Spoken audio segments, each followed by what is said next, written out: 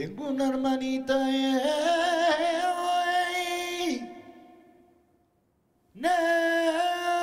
España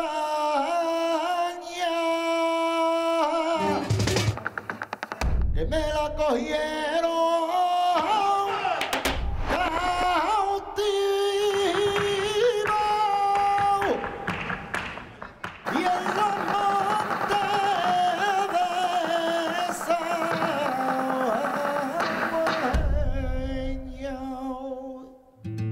Sí he tenido el miedo de, de no sentir, ¿no?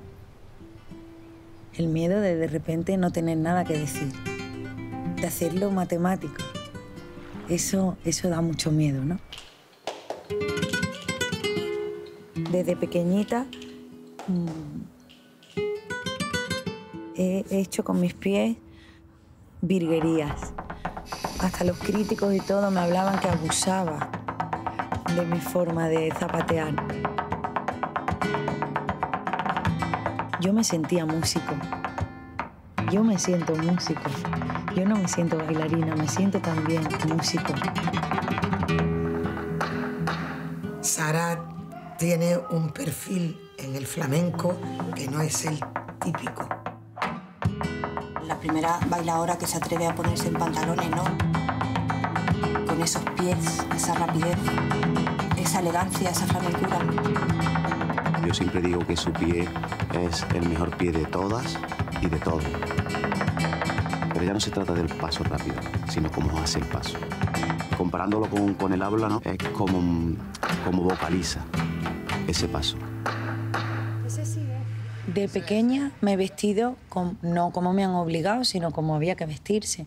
Era como si a la fuerza tuvieras que ser flamenca porque llevas tu traje de lunar. Sin embargo, han pasado los años y después de tanto tiempo, lo primero que tuve claro es que quería un traje de lunares. Pero teniendo ya el peso suficiente, la madurez suficiente para ponerte esos lunares donde te dé la gana. No por dentro ni por fuera, sino donde te dé la gana.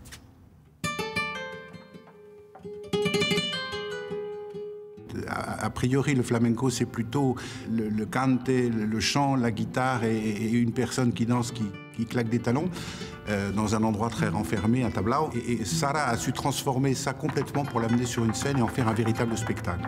Et ça, c'est une chose assez incroyable. Ella tiene un talento especial para crear, no solo para bailar. Mi voz es el baile, pero realmente mi voz es mi espectáculo. Sara es una fuente, por supuesto, de inspiración, pero mucho más de motivación. Te motiva en el aspecto de decir, no, yo no puedo hacer lo que hice ayer, ¿no? Porque si esta mujer me está haciendo esto.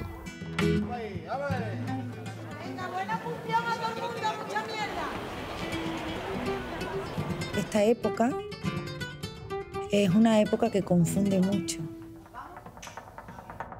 Entonces tienes que tener muy claro cuál es tu voz y cuál es la voz que tú quieres seguir. ¿no?